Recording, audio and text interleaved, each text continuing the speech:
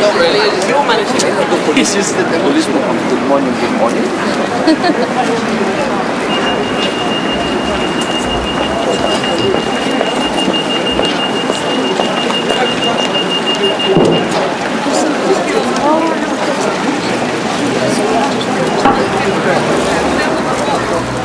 I think it's a really great concept to um, show people how the space can look so different. And it seems to me it's slowing people down. It's so instead of just this very long recti- rectilinear street, there's places to hesitate, to meet. I love the formality of, of the way it you can look at a space in a, in a, in a different way. You look at this space here, we've talked about how it sort of seems to gravitate towards the centre.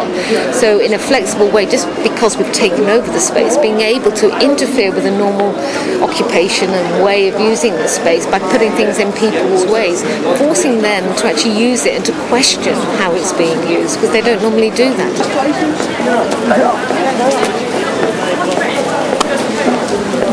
But seeing the umbrellas up makes me think, yeah, um, planning policy should allow for um, coffee shops and restaurants in a street like this.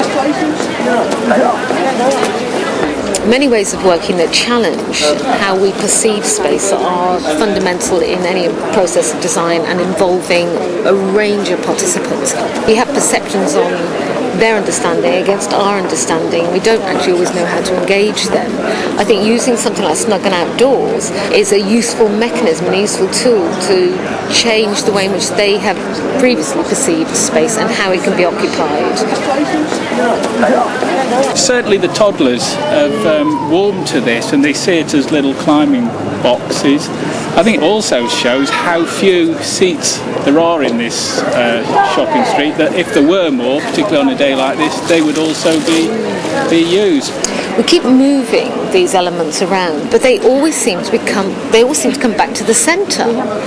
And people seem to occupy them at the centre. And we've been trying to shove them to the edges and they last for a short while and then everybody moves them back. So it's almost like it's a comfortable space. But I think it just generally, I think it's relaxing people and they, they sit in a much more um, free and casual way than, than the sort of regimented benches.